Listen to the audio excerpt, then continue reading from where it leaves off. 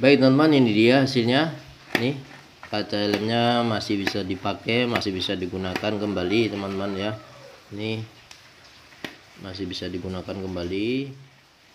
Assalamualaikum warahmatullahi wabarakatuh. Halo teman-teman youtuber jumpa lagi bersama saya. Pada kesempatan kali ini saya ingin berbagi tutorial cara darurat memperbaiki kaca helm bogo yang patah. Di sini saya contohkan teman-teman ya di helm e, kaca helm bogo di mana kaca helm bogo ini patah seperti ini teman-teman atau rusak.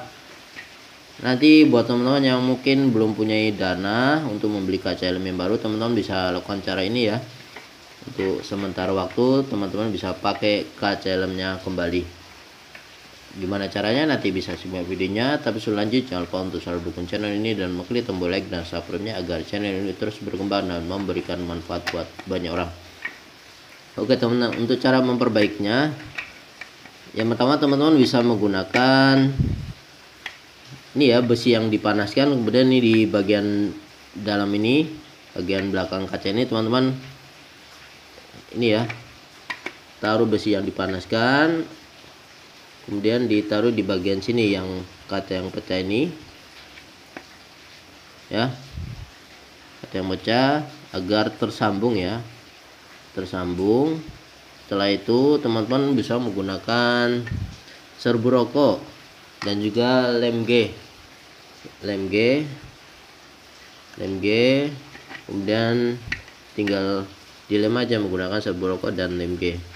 Untuk pada kesempatan kali ini saya hanya menggunakan serbu rokok dan lem G ya. Lem G tidak menggunakan besi yang dipanaskan di kasih ini ya. Saya tidak menggunakan itu saya hanya menggunakan serbu rokok dan lem G cara penggunaannya seperti ini teman-teman. Ya. Seperti ini kita kasih ke sini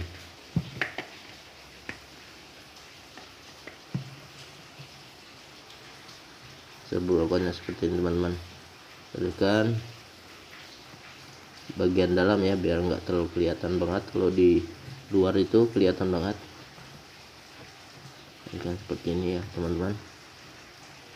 Menutup pori-pori yang bekas kaca yang patah ini teman-teman. Ini fungsi dari serbu rokok untuk perekat ya teman-teman. Menambah daya rekat. Seperti ini. Untuk menambah daya rekat. Ya. Ini. Setelah itu bisa kita tuangkan lem G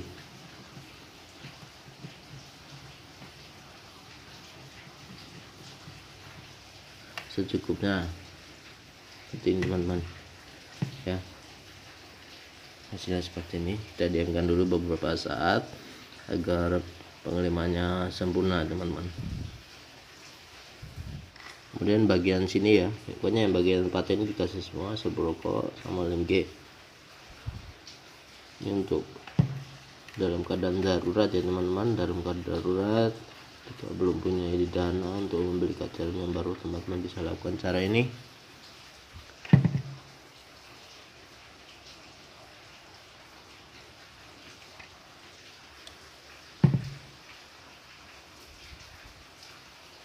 Diamkan dulu sampai kering ya lemnya berapa saat teman-teman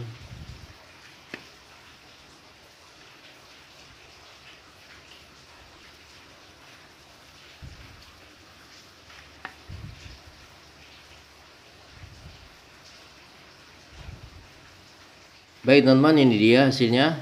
Nih kaca helmnya masih bisa dipakai masih bisa digunakan kembali teman-teman ya.